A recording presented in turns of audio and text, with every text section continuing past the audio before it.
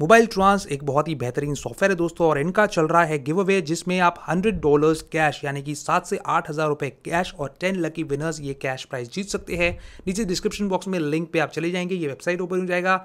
यहाँ पे जो test and win 100 dollar cash लिखा है, इस पर ज्वाइन नाउ लिखा है, इस पर क्लिक कर लीजिए। और यहाँ पे आपको दिए जाएँगे आठ क्वेश्चंस इन आठ क्वेश्चंस के आंसर देने के बाद आप एलिजिबल हो जाएँगे ये कैश प्राइज जीतने में। तो बिल्कुल भी ये मौका मत छोड़ना, नीचे डिस्क्रिप्शन बॉक्स में लिंक है, उस पर क्लिक करके इस गिव अवे में पार्टिसिपेट ज़रूर हाय दोस्तों अस्सलाम कैसे आप लोग? मेरा नबील है। हमने काफ़ी सारे आईफोन्स कवर किए दोस्तों अब तक कि 2020 में आपको कौन सा आईफोन लेना चाहिए कौन सा नहीं लेना चाहिए कौन सा लेना चाहिए तो क्यों लेना चाहिए क्यों नहीं लेना चाहिए और यूज़ लेना चाहिए फिर न्यू लेना चाहिए। तो अब बारी है दोस्तों आईफोन सेवन प्लस की। आप लोग की बहुत टाइम से डिमांड आ रही थी लेकिन जब तक मैं हर फ़ोन को जो है अपना प्राइमरी सिम कार्ड डालकर उसको इस्तेमाल करके नहीं देख लेता, आपको जो मैं एडवाइस भी देना जो है सही नहीं समझता, इसलिए मैं अपना टाइम लेता हूँ और फिर उसके हिसाब से जो है मैं डिसीज़न लेके आपके लिए एक वीडियो बना के लेके आता हूँ। तो आज हम बात करने वाले हैं दोस्तों आईफोन सेवन प्लस की। काफ़ी ज़्यादा डिमांड है आप लोगों की इस फ़ोन से रिलेटेड तो आइए इसके बारे में बात करते हैं और देखते हैं क्या आईफोन 7 प्लस जो है आज 2020 के हिसाब से एक वैल्यू फॉर मनी डिवाइस है या नहीं, क्या आपको नया लेना चाहिए, पुराना लेना चाहिए या फिर बिल्कुल भी ये फ़ोन जो है नहीं लेना चाहिए। तो सबसे पहले बात करते हैं दोस्तों डिज़ाइन एंड बिल्ड क्वालिटी के बारे में। जैसे मैंने आईफोन सेवन के बारे में बताया था, ये भी फ़ोन जो है एक काफ़ी इंपॉर्टेंट फ़ोन है, ये सीरीज़ का टू का। क्योंकि पुराना होते हुए भी ये फ़ोन जो है एक मॉडर्न फ़ोन मैं बोल सकता हूँ। यहाँ पे सेवन सीरीज़ का एल्यूमिनियम है और काफ़ी जो है ब्यूटीफुल लगता है देखने में।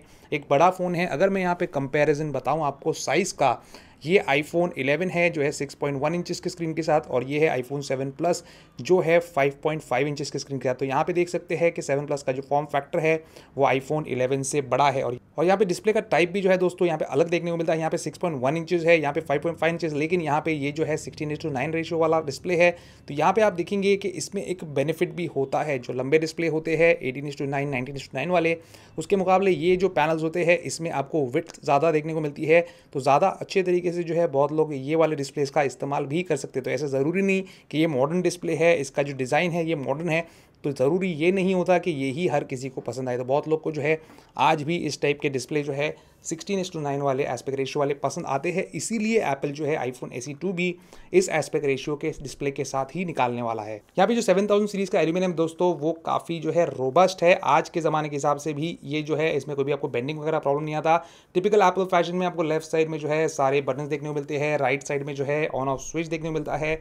सिंगल सिम का यहाँ पे ट्रे है और इसके अंदर कोई ई सिम वगैरह नहीं आता। बॉटम में अगर आप देखेंगे तो एक स्पीकर है, एक माइक्रोफोन का ग्रिल है और यहाँ पे जो है लाइटनिंग कनेक्टर है। कोई भी three point five audio jack जो है आपको आईफोन सेवन प्लस में नहीं देखने मिलेगा आईफोन सेवन की तरह। और ऊपर भी जो है एकदम यहाँ पे आपको क्लीन लुक देखने को मिलता है। बैक साइड में अगर आप देखेंगे यहाँ पे दोस्तों तो फ़र्स्ट टाइम जो है एप्पल ने अपनी हिस्ट्री के अंदर पहली बार जो है डुअल कैमरा का सेटअप आईफोन 7 प्लस के साथ दिया था। और इसी के साथ पहली बार जो आपको देखने मिला है, वो है पोर्ट्रेट मोड भी। कैमरास के बारे में आगे जाके बात करेंगे दोस्तों। पहले आपको बताता हूँ कि आईफोन 7 प्लस जो है, ये एक IP67 certified dust and water resistant device है। यानी कि एक मीटर पानी में आप 30 मिनट तक इसको रखेंगे तो इसके अंदर पानी नहीं जाना चाहिए। लेकिन एडवाइजेबल नहीं होता कि कोई भी फ़ोन को जो है पानी में डुबाए। ये सिर्फ़ एक्सीडेंटल कभी ऐसा हो जाता है तो उस टाइम पे आपके फ़ोन को प्रोटेक्ट करने के लिए होता है।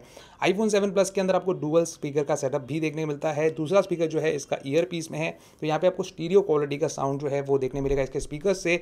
स्पीकर बहुत ज़्यादा लाउड नहीं है जितने आईफोन 11 या आईफोन टेन में आते हैं, लेकिन फिर भी जो है डिसेंटली लाउड है और सिंगल स्पीकर वाले आईफोन से जो है काफ़ी ज़्यादा लाउड है। डिस्प्ले की अगर बात करें दोस्तों तो जैसे मैंने आपको बताया फाइव पॉइंट फाइव इंच का एल डिस्प्ले है फुल एच रेजोल्यूशन वाला है, जो ये बाकी के आते हैं नए वाले आईफोन टेन आर आईफोन 11 उसके अंदर फुल एच से थोड़ा कम रेजोल्यूशन है ए पिक्सल वाला है, लेकिन यहाँ पे फुल एच पैनल देखने को मिलता है। और ये जो डिस्प्ले है, इस पर आप जो है इस तरीके का लैंडस्केप मोड भी रख सकते हैं, जो कि ये वाले आईफोन्स के अंदर पॉसिबल नहीं है। तो अगर आपको टैबलेट जैसे फॉर्म में इसको इस्तेमाल करना है तो आप जो है इसको ऐसे भी यूज़ कर सकते हैं इस वाले ओरिएंटेशन में। ये जो डिस्प्ले है, ये एक प्रेशर सेंसिटिव डिस्प्ले है, यानी कि थ्री टच वाला डिस्प्ले है, जो आजकल 2020 के 2019 के, जो भी आईफोन्स है, उसके अंदर आपको नहीं मिलता। तो थ्री टच इसके अंदर है, लेकिन ये जो है एक हार्डवेयर बेस्ड थ्री टच है। बाकी फ़ोन्स के अंदर भी थ्री टच आता है, जिनमें पहले नहीं हुआ करता था, लेकिन वो सॉफ्टवेयर बेस्ड थ्री टच था। इसके अंदर भी दोस्तों आईफोन सेवन जैसा एक टैप्टिक इंजन यहाँ पे दिया है, जो कि हैप्टिक फीडबैक जो है बहुत अच्छा देता है, क्योंकि इसके अंदर जो टच आईडी सेंसर है, वो जो बटन है, वो एक कैपेसिटिव बटन है, यानी कि आप जब इसको प्रेस करेंगे तो एक्चुअल में प्रेस नहीं होता, लेकिन इसके अंदर से इतना अच्छा हैप्टिक फीडबैक आपको देखने मिलता है कि आपको लगेगा कि एक्चुअल में आप जो है होम बटन प्रेस करें और ये होम बटन जो है, इसके अंदर टच आईडी है, वो एक सेकंड जनरेशन का टच आईडी है, जो कि आज भी जितने भी टच आईडी वाले आईफोन्स आते हैं एट एट प्लस और शायद आईफोन एसी टू उसमें भी यही वाला टच आई सेंसर आएगा। परफॉर्मेंस की अगर बात करें दोस्तों तो इसके इंटरनल्स के अंदर आपको मिलता है A ten fusion chip set और थ्री गीगाबाइट्स का रैम पहली बार जो है, किसी भी आईफोन के अंदर थ्री जी का जो रैम आया, वो इसी आईफोन के अंदर आया। आईफोन सेवन के अंदर जो है टू जी बी का रैम आता है, सिक्स प्लस के अंदर भी टू जी बी का रैम आता है, लेकिन इसके अंदर जो है थ्री जी बी का रैम आया, जो कि आईफोन टेन आर के अंदर भी आपको थ्री जी बी का रैम मिलता है। तो ऐसा नहीं है कि रैम के मामले में ये कोई पुराना आईफोन है। थ्री जी बी का रैम मोर देन एफ़ है, बहुत ही अच्छी तरीके से जो है आप इसमें मल्टी वगैरह कर पाएँगे। कोई भी इशू आपको देखने इसमें नहीं मिलना चाहिए। और एयर इन्फ्यूजन चिपसेट जो है दोस्तों, वो भी काफ़ी पावरफुल है। आज के जो आईपैड आते हैं, अभी जो सेवन जनरेशन का एप्पल ने लॉन्च किया है 2019 वाला, उसमें भी ए टेन फ्यूजन चिपसेट दिया है। तो आपको अपडेट्स भी जो है अच्छे देखने मिलेंगे। उसके बाद बता देता हूँ दोस्तों, यहाँ पे जो सॉफ्टवेयर चल रहा है, ये लेटेस्ट आई ओ का चल रहा है और आई ओ आने के भी इस पर जो है हंड्रेड परसेंट चांसेस है तो कोई भी इशू आपको नहीं आना चाहिए। कनेक्टिविटी की अगर बात कर लेते दोस्तों तो यहाँ पे आपको मैं एक चीज़ बताता हूँ कि जियो वाईफाई यहाँ पे लिखा हुआ है, यानी कि समझ लीजिए कि इसके अंदर वाईफाई कॉलिंग है, जो आजकल बहुत सारे मॉडर्न एंड्रॉइड फ़ोन्स के अंदर भी लोग सॉफ्टवेयर अपडेट का वेट कर रहे हैं, लेकिन यहाँ पे आपको जो है वाईफाई कॉलिंग का support out of the box मिलता है, कुछ भी आपको करने की ज़रूरत नहीं, और यहाँ पे जो है एयर ड्रॉप वगैरह सारी चीज़ें आपको देखने मिलेगी, कोई भी इशू नहीं आएगा आपको। और साथ ही साथ दोस्तों, इसके अंदर जो है एनएफसी भी देखने मिलता है। इस तरीके से जो है आप एनएफसी टैग्स वगैरह या आपके पास कोई यू की होगा एनएफसी वाला, उसको भी स्कैन कर सकते हैं, जो कि बहुत सारे मॉडर्न एंड्रॉयड फ़ोन स्किप कर देते हैं एनएफसी वाली टेक्नोलॉजी अगर आप थोड़े लो एंड पे या मिड रेंज पे देखते हो तो। अब आ जाते हैं दोस्तों कैमरास के ऊपर। तो यहाँ पे आईफोन में पहली बार जो पोर्ट्रेट मोड आया, वो इसी फ़ोन के अंदर आया। और पोर्ट्रेट मोड में यहाँ पे आप जो है ऑब्जेक्ट्स का फ़ोटो ले सकते हैं पोर्ट्रेट इफ़ेक्ट के साथ, जो कि आईफोन टेन के अंदर पॉसिबल नहीं है। उसमें से पोर्ट्रेट इफ़ेक्ट जो है ह्यूमंस का होता है। लेकिन इसके फ्रंट फेसिंग कैमरा से आप पोर्ट्रेट इफ़ेक्ट वाले फ़ोटोज़ नहीं ले सकते। इसके कैमरा के अंदर आपको मिलता है दोस्तों एक टेलीफोटो लेंस और एक रेगुलर वाइड एंगल लेंस दोनों ही ट्वेल्व मेगा के है। और जो रेगुलर वाइड एंगल लेंस है, वो ऑप्टिकल इमेज स्टेबलाइजेशन के साथ आती है। यानी कि आपको काफ़ी जो है स्मूथ और स्टेबल वीडियोस और लो लाइट में ठीक ठाक फ़ोटोज़ निकालने में हेल्प कर देगा। पोर्ट्रेट मोड के बारे में इसके एक और चीज़ बताया था दोस्तों। इसके अंदर पोर्ट्रेट मोड जो है वो ऑब्जेक्ट का फ़ोटो ले सकता है आईफोन टेन जैसा। लेकिन आईफोन टेन जैसा इसके अंदर जो है पोर्ट्रेट लाइटिंग इफेक्ट्स आपको देखने को नहीं मिलते। इस फ़ोन का जो फ्रंट फेसिंग कैमरा है दोस्तों, ये एक सेवन मेगा का कैमरा है, जो कि आपको डिसेंट सेल्फीज और अच्छा खासा वीडियो रिकॉर्डिंग कैपेबिलिटी भी दे देता है। यहाँ पे कैमरा के सेटिंग्स में जाके आपको बताया था दोस्तों कि कहाँ तक ये वीडियो रिकॉर्डिंग जो है वो सपोर्ट करता है। तो फोर के थर्टी एफ़ तक आप इसमें वीडियो रिकॉर्डिंग कर सकते हो।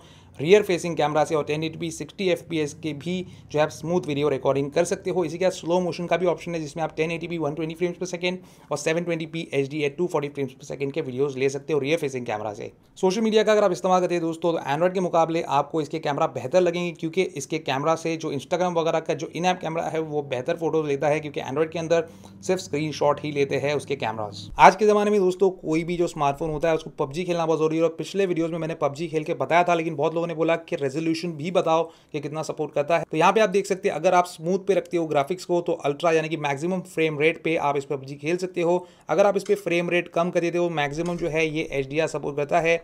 अल्ट्रा एचडी जो है इसके अंदर अभी तक सपोर्टेड नहीं है।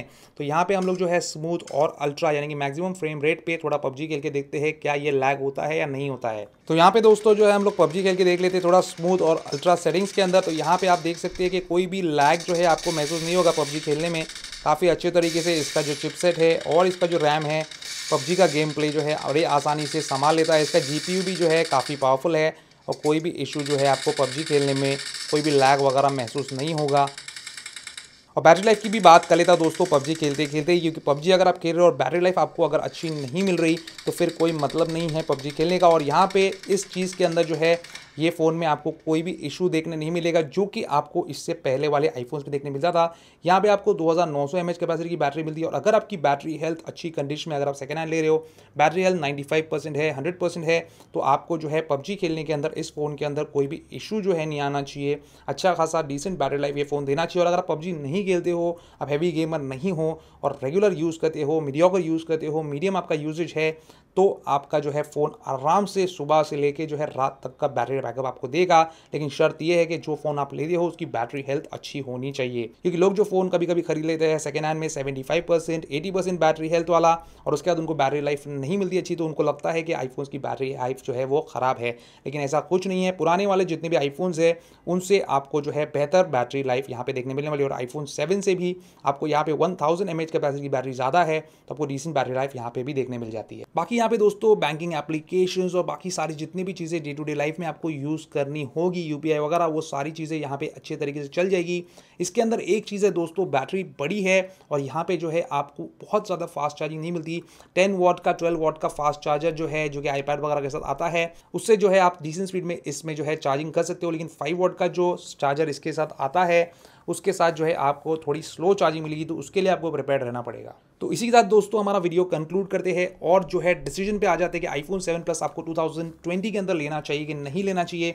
देखिए दोस्तों साफ़ साफ़ बोलता हूँ, नया आईफोन 7 प्लस जो है, वो 2020 में आपको नहीं लेना चाहिए। आपको जो है सिर्फ़ और सिर्फ़ second hand iPhone seven plus ही 2020 में लेना चाहिए। उसका रीज़न है दोस्तों, पुराने जो आईफोन मैंने बताया, उसमें आप नया ले सकते हो सेकेंड हैंड ले सकते हो, लेकिन आईफोन सेवन प्लस की जो मार्केट वैल्यू है, आज भी काफ़ी ज़्यादा स्ट्रॉन्ग है, काफ़ी ज़्यादा प्राइस में ये बिकता है, अगर आप नया लेने जाते हो तो।